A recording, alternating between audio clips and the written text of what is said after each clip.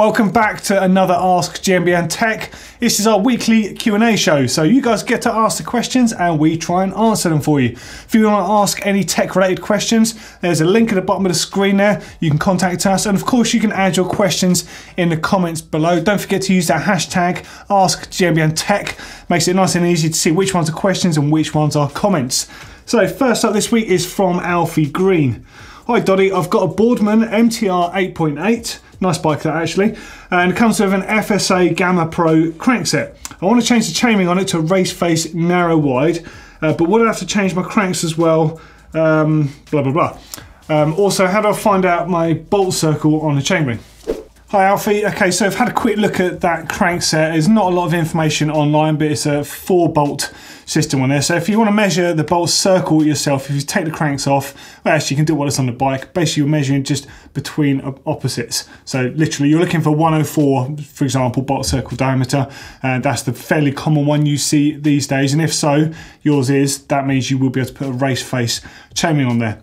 In order to do that, you obviously need to remove the crank from the bike, and then on the back side of the crank, there will be access to those bolts holding the chainring onto it. You'll need to remove those. They might be 5mm Allen key head bolts, or they might be Torx T25 it's quite likely that there'll be some thread lock of some kind holding them on. So make sure you use a good fitting tool um, and be careful just when you undo it in case you slip and skin your knuckles on the actual chainring. So just take care with that. Take the chainring off, get that new one. Just confirm that the bolt circle is the same as obviously various different ones and you should be good to go. All right, next up. Hi Doddy, my name is Hugo Oliveira, a bike enthusiast from Portugal. I love all the GMBN videos. Keep doing it. I love it. Cool. Thanks. Thanks for that. Um, right. So your question. I have a Cannondale Trail 5 29 and I'm upgrading as I go along, but I'm obviously on a tight budget, as you can see by my current hardtail.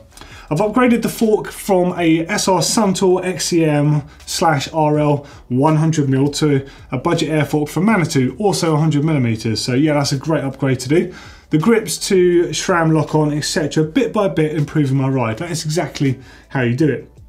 The biggest change, I believe, is to upgrade my bottom bracket, which is a square taper and a crank, to a better one.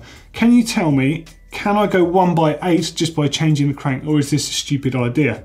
Does it mean that I need to switch the entire group set to, like, say, SRAM GX? Uh, that's the cheapest I can find online. No, you can go straight to 1 by 8 Hugo, um, but you have to bear in mind a couple of things. So the typical 1 by transmissions you see at the moment, there are two major factors that make them work. One of them is the narrow wide chainring up front. The idea with the narrow wide chainrings is those narrow wide teeth profiles match the narrow wide profiles on the inside of the chain links on the male and females. So the idea is the chain can't move around too much on that chainring and therefore is much, much harder to derail. So that is part of it, but also the clutch on the derailleur. SRAM and Shimano both have their, their individual systems for a clutch. And the reason you need this is basically to increase the tension on the chain.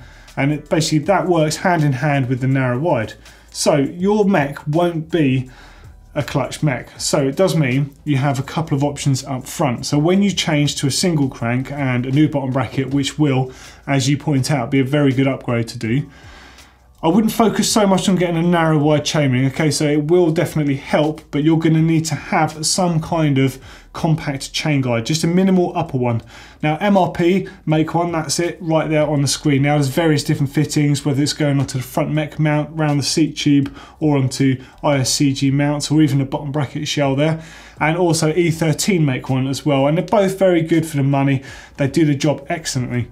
Now, long before all this 1 by phase everyone's in now, the 1 by 11 and 1 by 12, I used to run 1 by 8 and 1 by 9 in those days, way before clutch mechs and way before narrow wide chain rings, by using one of those MRP 1 by guides.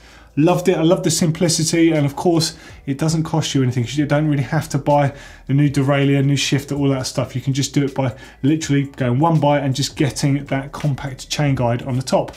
So a little bit more money to spend, but you can do it without having to do a whole new transmission. So get it done, in my opinion. I think it will make your bike quieter and you will love it. Uh, hub related question now from Aaron J. Hall. I currently have a 2011 Kona Heihei 29er with a broken chainstay. Unlucky. Um, the current chainstay is a quick release with a 2011 Easton XC 29 wheel set. I can only replace the chainstay with a newer model, which Kona has told me will fit, but does require a through axle hub. So that's a 142 by 12. Is there a new way to replace or convert the hub given the age of the wheel, or do I need to purchase a new wheel instead? Thanks for any advice. Um, okay, well, first up, I don't know if the back end of that bike is 135 or 142. Um, you might be in luck because those Easton hubs on those wheels, I think they're EA 70s, so they're very similar to the Havens, which I had in that era. And it's very much a plug and play system, so you get different caps for 135, 142, through axle, and quick release. Now, if you're in luck, which I think you are, yours will just have the quick release caps on the end. You can check this by trying to pull them out. They should be push fit on there, but quite a tough fit. So see if you can pull, pull those out. And if that does come out successfully like that, there will be a spare part from Easton. They do carry a lot of parts. So I don't know where you're based. If it's in the UK, the distributor is Silverfish. They will be able to help you or at least advise if they haven't got the part, which part you need to order. Failing that, Easton do tend to have pretty good customer service, so it's definitely worth dropping them a line. So hopefully you can get that sorted and just get the adapters, which I think you can, and continue riding your bike with that new chainstay. Good luck. Got a great one here from Andrew Dobbins. I've been looking at the Schlumpf mountain drive, which allows you to convert a 1 by into a 2 by by lowering the gear ratio by 2.5 simply by pressing the side of the crank. I haven't seen anyone review this or even discuss it in any detail. I guess there must be some downsides other than the price. Uh, but would have thought mountain bikes would have been all over it. Be interested in your thoughts. Andrew from Chepstow. Um, I have heard of this before, to be honest, Andrew, but I had to check it out because I wasn't too sure of it. And the reason I'd heard of it before is actually they use this on Moulton bikes and a few other sort of alternative branded bikes. So it's basically a planetary gearing system. So it's got a set of gears and they engage. And on this particular setup by Schlumpf, there has like a, there's a little lever that you just kick with your ankle on the centre of the crank. Basically, that engages the overdrive or the the secondary gear. So I think it's kind of a good concept, but I do think there are some issues with it, which is why you probably haven't seen this. So, A, it's potentially quite heavy, the style system it is. B, it involves having quite a large chainring because of the way the system works, and that chainring is in a central position. And most mountain bikes are designed, even the one by bikes, are designed around a smaller chainring in that middle position, so you're very limited on the bikes that might be able to accept it. You could, of course, space out the whole crankset um, but it would put your chain line off, so you don't really want to do that. So I'm sure it would work on some bikes, but not on all of them. Now also, the way they're designed is they're supposed to have minimal friction because of course gearboxes add friction and planetary gears like those again add friction. So these particular ones have minimal sealing on them basically. So they're not really good in wet weather. They're not good with mud and that it's going to get into those gears and they're not really designed for the conditions. However, they would cope with the torque that we're going to put through them and that sort of stuff. So definitely be keen to have a look at one. But just while we're talking about this, it actually reminded me of a product that was really cool and quite revolutionary at the time, made by Truvativ, called the Hammerschmidt. And this was basically the mountain bike version of one of these. Now I know the Schlumpf Drive one, they do say it's a mountain friendly one. I'm sure it could work. You know, um, I sit on the fence with that one because I've not tried it. Hammerschmidt was incredible.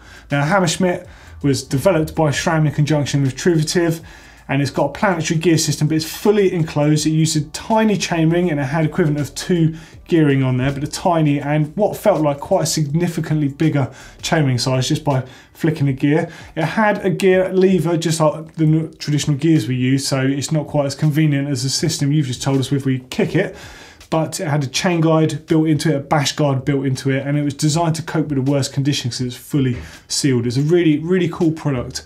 Quite ahead of its time, to be honest. And a lot of people still talk about Hammerschmidt, but I think really the reason it's not used much on mountain bikes was simply it had too much friction. Now, I forget in which mode, whether the standard or the overdrive mode, but you definitely noticed you changed that gear. You could feel the friction because you're turning all those extra planetary gears around on the inside. So whilst it was a fantastic idea and it was made like a phenomenal piece of kit, it just wasn't that successful, unfortunately. I'm going to try and get hold of one for Truvativ to show you on another show because it's such a cool bit of kit. Um, I just want to show you how they work. They're really cool when you're taking them apart. But um, but there you go. I think that's the reason why we've not seen them. Okay, another one, a nice simple one actually from Gregor Kolowski. Um, hi, I have a problem. When I move my wheel from left to right and holding the frame, I hear a sort of knocking. I think that could be something from the rear hub. Can you tell me how to fix it? Thanks a lot. Uh, well, firstly, you do need to identify specifically what it is. There's a whole bunch of things that it could be, but of course it does suggest that it might be the hub being loose. Now, your hub will be one of two options. It will either have traditional cup and cone style bearings or it will have cartridge bearings. If it's traditional cup and cone ones, you can adjust those. There's basically, you can adjust the cone and then have a lock nut that adjusts against the cone to stop it basically coming loose. And it sounds like if it is, it has come loose, so you'll need to readjust those and re relock that. They normally take sort of 15 to 17 millimeter cone spanners, which are the really thin options, especially for that job, but you can often get away with doing this with adjustable spanners or just regular spanners. If yours is a cartridge bearing, it's one of two things. Either the bearing itself is worn out and that's why it's knocking and moving around, in which case they'll need replacing. Uh, it's a fairly easy job to do. It does vary on hubs how you get those bearings out and you punch them back in again. Uh, if you're unsure about that, your bike shop will be able to help you. Uh, but it also could be that those bearings aren't preloaded. Now, there's often confusion with preloading cartridge bearings because you're not actually loading the bearing because it's a sealed unit. But what the term preloading it means is making sure the hardware is snug up against it so there is no movement. And if any of that is loose, then you will have that movement which translates to a wobbly wheel. So there's a few options of things it could be there. Um, you really have to try and identify it yourself before we can figure out any more. But I think that's going to help you on the way. So good luck with that. Um, now this one, I can't tell if this is a real name or if Blake is playing a prank on me, but this is from Dick Splats 007. Um, where did you get the 10mm reach stem from in the cutscene for GMBN? I've searched everywhere. Mondraker don't even do them anymore. Uh, I got it with my Mondraker. basically. Uh, yeah, they don't do them in 10 anymore. I've got the 10, I've got the 20, and then of course I've got the regular 30s, 35s and all the other ones. And I've got a few different options of those. I've ridden a lot of their bikes in the past. I was an early adopter of that 10 mil system when other people thought it looked a bit strange and even ugly. Um, you should still be able to find them, track them down. Um, I'll tell you what, drop me an email. I might be able to help you on that one. So drop an email to hellotech at gmbn.com and in the subject line, do the Mondraker 10mm stem. And hopefully I'll get to see that email and I'll see if I can hook you up. So there we go, there's another GMBN Tech Q&A session in the bag. If you've got any questions, send them into the email address that was on the screen at the bottom of the page at the beginning of the show, and if not, add them in the comments below. Just use that hashtag AskGMBNTech, and we can always find them. For a couple of great videos, click down here for everything about derailleurs. This is our essentials video that tells you how they work, what the adjustments do, and what to do when yours go out of adjustment. For another video, click up here for the Bike Build Pro Bike. That's got all the details of how you can win it. So you definitely want to watch that. And I want you all to enter the competition because someone's got to win it and they're going to win it soon. So get those entries in. As always, give us a thumbs up if you like the video and make sure you subscribe to the channel. We're nearly at 100k now.